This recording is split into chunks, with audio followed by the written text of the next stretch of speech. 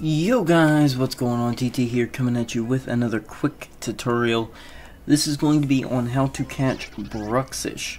Bruxish is pretty rare Pokemon in all honesty. Um, but to get him, you're just going to have to fly to Tapu Village real quick on the third island, the island with the Elite Four. And there's one specific area, one easy to access area you can actually get Bruxish in. It is a 5% fishing rate though. So don't expect it to pop up the first time.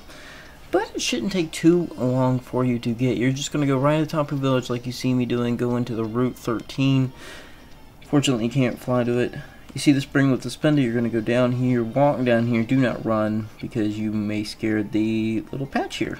And then when you get here, guys, you are going to save, unless you want to keep flying back to this area. Because you'll only be able to get it while there are ripples in the water.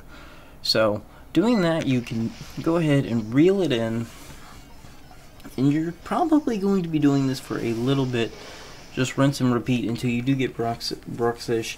Eventually it will pop up though. Like I said. And you will be good to go at that point. But hopefully you guys enjoyed this tutorial. Um, I will be showing myself finding it after this. It's going to be a little bit of a sped up routine. I just wanted to get to the point for the people that wanted to see it.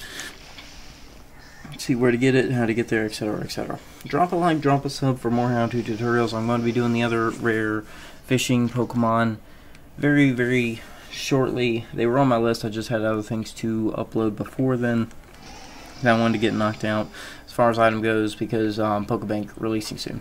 But do me a favor and stay lucky, guys. Much love. Later.